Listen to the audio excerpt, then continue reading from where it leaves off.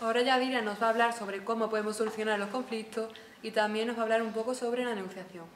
Bueno, la negociación básicamente es llegar a un acuerdo a través de un diálogo. El fin de todo esto pues llegar a un punto de acuerdo entre las dos personas que lo están haciendo. Para que eso salga bien, pues hay que mm, básicamente tener las dos partes, mm, tener su opinión y la otra otra y tener un acuerdo satisfacer las necesidades nuestras y las de la otra persona, tener confianza en lo que, eh, en lo que ese acuerdo se ha hecho, que se va a hacer, y tener claro lo que se tiene que decir hasta dónde se quiere llevar con ese acuerdo.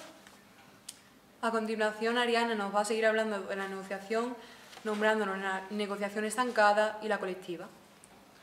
Cuando un proceso de negociación se estanca, eh, hay, se buscan otras alternativas como Mm, buscar otros, otros interlocutores o una figura neutral que ayude en el proceso.